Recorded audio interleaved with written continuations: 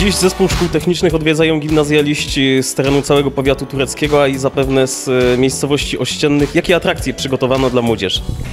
No, dziś szczególny dzień, jak zresztą co roku e, organizujemy drzwi otwarte dla młodzieży. E, jak co roku wszystkie kierunki, a więc e, technikalne i branżowej szkoły reprezentują swoje możliwości.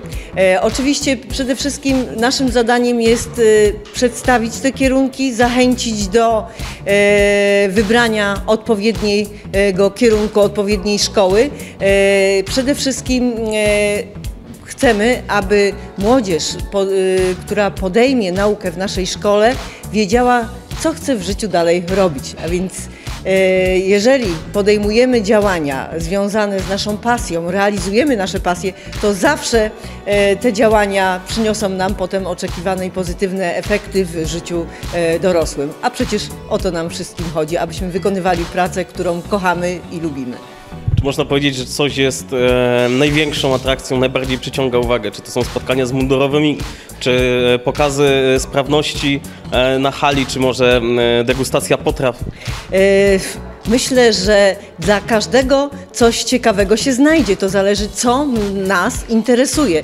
Jednych interesują pokazy judo, innych e, pokazy najnowocześniejszego sprzętu e, technicznego, który tutaj w szkole posiadamy, bo przecież jesteśmy e, bardzo dobrze wyposażoną szkołą w najnowocześniejszy sprzęt i możemy powiedzieć, że jesteśmy najnowocześniejszą szkołą w regionie i nie tylko. Dlatego też no, w zależności od tego, jakie zainteresowania e, kierują uczniami, staramy się ich tutaj e, zachęcić do zwiedzania i do obejrzenia tego, co, czym dysponujemy.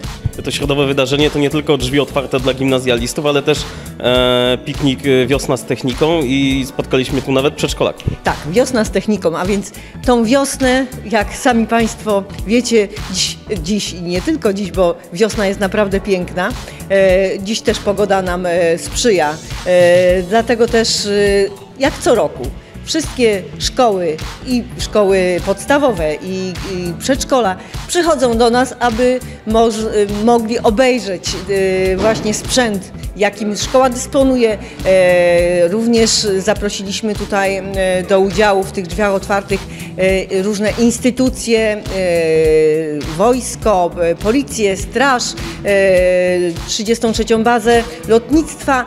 Także mamy wiele atrakcji, których na dzień dzisiejszy e, mogą, ta młodzież może, te dzieci mogą obejrzeć e, to, co mamy do zaoferowania, bo przecież na co dzień e, nie miałyby takiej możliwości.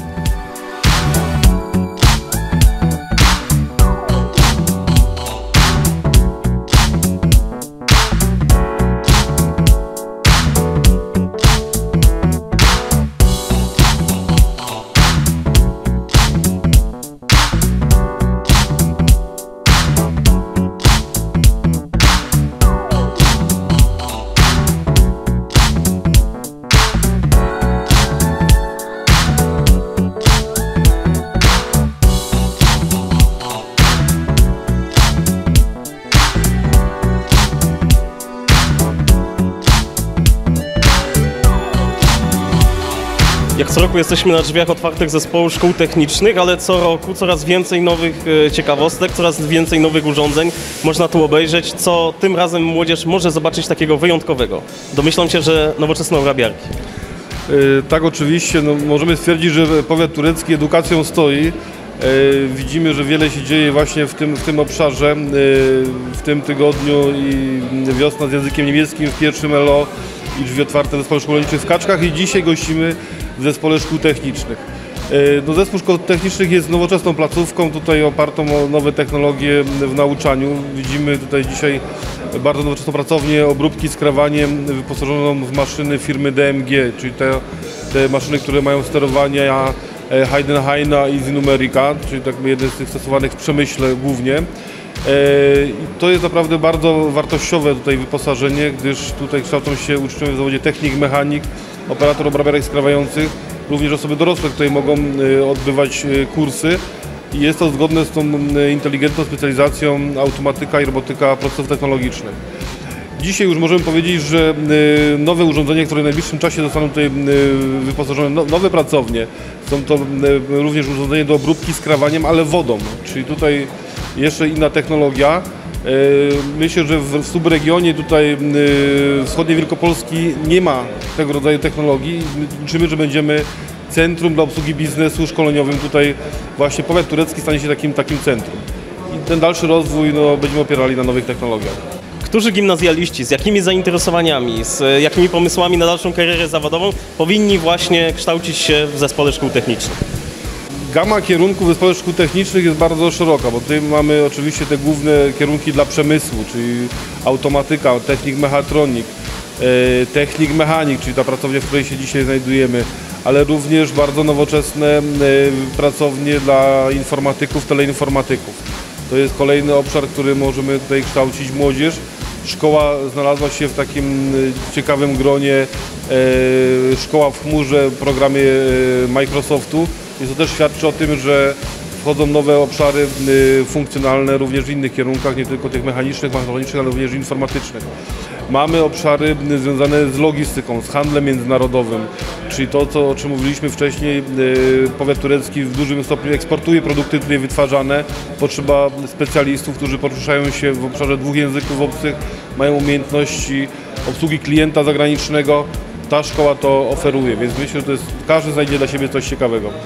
Rozumiem, że uczniowie, którzy zdecydują się na naukę w zespole szkół technicznych, e, mają e, tą sposobność, by korzystać na przykład z wymiany międzynarodowej, ze współpracy z zagranicą.